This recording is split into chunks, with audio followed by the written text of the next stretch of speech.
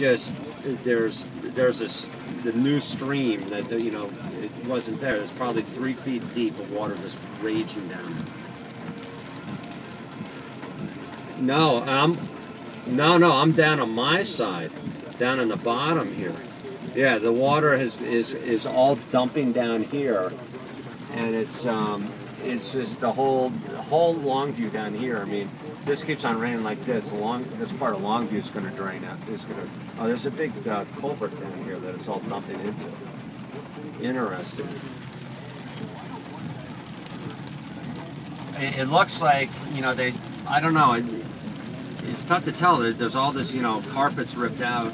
You know, I, I don't know if they're doing a renovation or, but the whole outside of the house is all scaffolded up.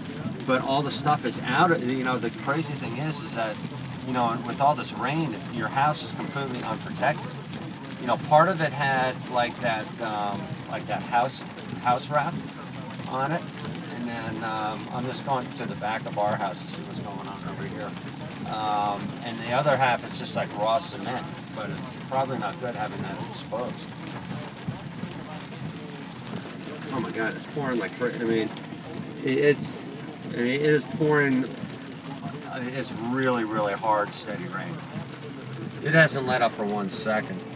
I'm in the back of my house. It's fine. I mean, there's this water running, you know, down. It's kind of like a natural culvert that shoots down to that new path down there.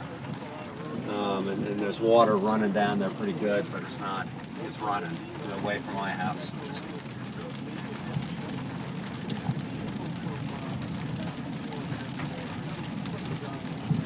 Yeah, but the thing is, you can't get back there. It's so muddy. You, can't believe what my neighbors look like.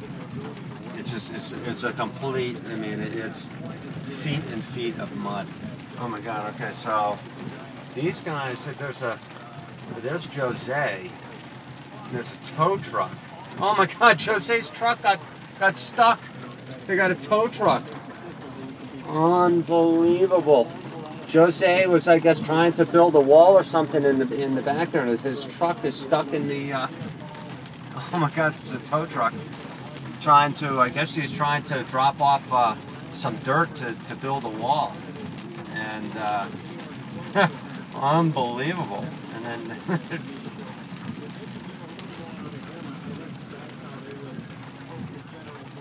yeah, I know. Well, it's like he's he's got like a you know, he's got like a three foot wall built that's like about, I don't know, maybe it was 10 feet long when we came into the house two hours ago, and now it's it's double that.